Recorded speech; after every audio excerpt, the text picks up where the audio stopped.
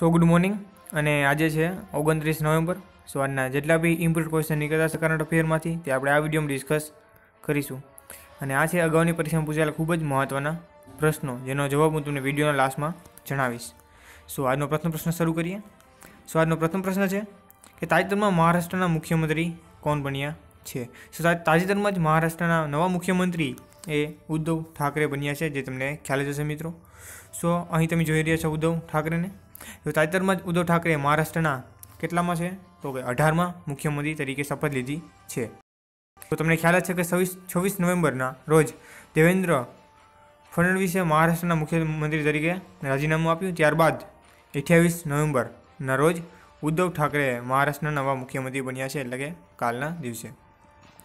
શું થોડું રિવિઝન કરીએ? તો આપણે ચર્ચા કરીએ કે શ્રીલંકાના નવા વડાપ્રધાન મહેન્દ્ર રાજપક્ષે બન્યા છે. અને શ્રીલંકાના નવા રાષ્ટ્રપતિ કોણ છે? તો તેના ભાઈ જ છે. કોણ છે? ગીતબિયા રાજપક્ષે બન્યા છે. તે તમારે યાદ રાખવાની છે. અને બાકીની મહારાષ્ટ્રની ડિટેલ્સ તમે અહીં જોઈ શકો છો. તો નેક્સ્ટ ક્વેશ્ચન જોઈએ. તાજેતરમાં કાર્ટ સેટ થ્રી સેટેલાઇટ કોણે લોન્ચ કર્યું છે? સો તાજેતર- તાજેતરમાં જ Cartosat three satellite ISRO દ્વારા લોન્ચ કરવામાં આવ્યું છે, મિત્રો.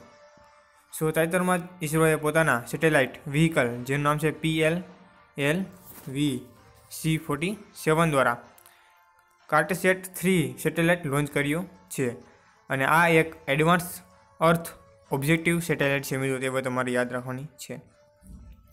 સો ઇસરો બીજા અમેરિકાના તિયા સેટેલાઇટ આંધ્રપ્રદેશના જે શ્રીહરિકોટા છે, ત્યાંથી લોન્ચ કરશે. તે તમારે યાદ રાખવાની છે. સો આ પીએસએલનું ફૂલ ફોર્મ શું થાય છે, તો પોલાર સેટેલાઇટ લોન્ચ વ્હીકલ થાય છે, તે તમારે યાદ રાખવાનું છે બાકીની ડિટેલ્સ તમે અહીં જોઈ શકો છો. સો જોઈએ નેક્સ્ટ ક્વેશ્ચન વિડીયોને આગળ વધતા પહેલાં મિત્રો, અગર તમને અમારો વીડિયો થોડો બી બેનિફિટ થતો હોય તો વિડીયોને લાઇક કરો શેર કરો અને અમારી ચેનલને સબસ્ક્રાઈબ જરૂર જરૂર કરશો, જેથી અમને આવા નવા વીડિયો બનાવવા પ્રોત્સાહન મળે.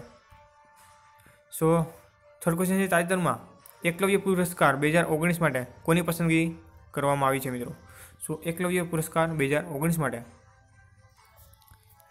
જિલ્લી દલા બહેરાને પસંદ કરવામાં આવી છે. અહીં તમે જોઈ રહ્યા છો જિલ્લા દહેલબાને. તેઓ ઓડી ઓડિશાના એક વેઇટર લિફ્ટર છે અને તેઓની પસંદગી એક લવ્ય પુરસ્કાર બે હજાર ઓગણીસ માટે કરવામાં આવી છે.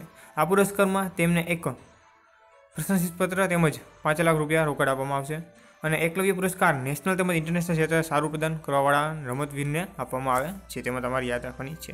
સો થોડું રિવિઝન કરીએ તો બજરંગ પૂનિયા અને દીપા મલિકને બે હજાર ઓગણીસનો રાજીવ ગાંધી ખેલ રત્ન અવોર્ડથી સન્માનિત કરવામાં આવ્યા છે તેઓ તમારે યાદ રાખવાની છે. જોઈએ નેક્સ્ટ ક્વેશ્ચન તાજેતરમાં આંતરરાષ્ટ્રીય પ્રેસ ફ્રીડમ એવોર્ડથી કોને સન્માનિત કરવામાં આવ્યા છે મિત્રો?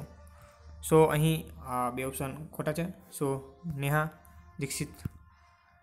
સો નેહા દીક્ષિતને એક ભારતીય પત્રકાર છે પત્રકાર છે અને તેઓને તાજેતરમાં જ આંતરરાષ્ટ્રીય પ્રેસ ફ્રીડમ એવોર્ડથી સન્માનિત કરવામાં આવ્યા છે. અને સોળ નવેમ્બર રોજ સોળ નવેમ્બરના રોજ આપણે નેશનલ પ્રેસ ડે મનાવીએ છીએ. તે તમારી યાદ રાખવાની છે. આપણે સમજવાની એટલી બાબતો યાદ રાખવાની છે. ત્યારબાદ છે એક રિવિઝન ક્વેશ્ચન આપણે જોઈએ તો કેન્દ્ર સરકાર જે બે યુનિટ ટેરિટરી છે, જેમ કે દીવ દમણ અને દાદર નગર હવેલી, આ બંને જે કેન્દ્રશાસિત પ્રદેશ છે, તેને જોડીને એક કેન્દ્રશાસિત પ્રદેશ કરવા માટેનું એક વિધેયક, એટલે કે ખરડો લોકસભામાં પસાર કર્યો હતો અને તેને હવે મંજૂરી મળી ગઈ છે મિત્રો. સો, તે બાબત પણ તમારે યાદ રાખવાની છે.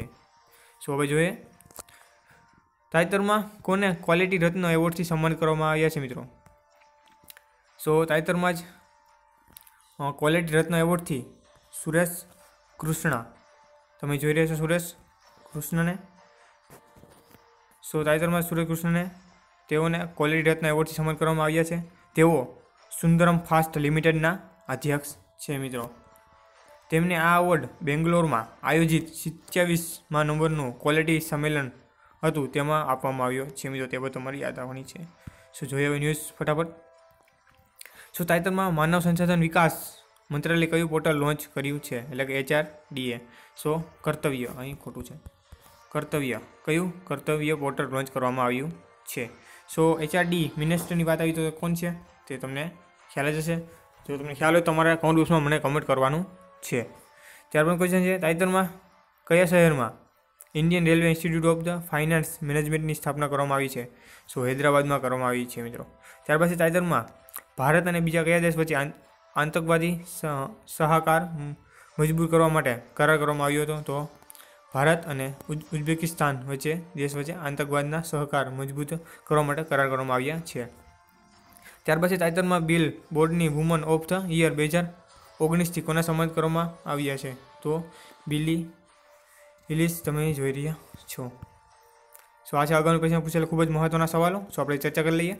સો ફર્સ્ટ ક્વેશ્ચન છે કે બે હજાર ઓગણીસ વીસમાં, બે હજાર ઓગણીસ વીસમાં ગુજરાત વિદ્યાપીઠ સૌપ્રથમ કોના બંગલામાં શરૂ કરવામાં આવી હતી? સો ગુજરાત વિદ્યાપીઠે સૌપ્રથમ એ ટાયાભાઈ મહેતાના બંગલામાં શરૂ કરવામાં આવી હતી. મિત્રો, તે બધું અમારી યાદ રાખવાની છે. ત્યારબાદ છે, જેસલ તોરલની સમાધિ ગુજરાતના રાજ્યમાં કયા જિલ્લામાં આવેલી છે તો તમને ખ્યાલ છે કચ્છના અંજારમાં આવેલી છે.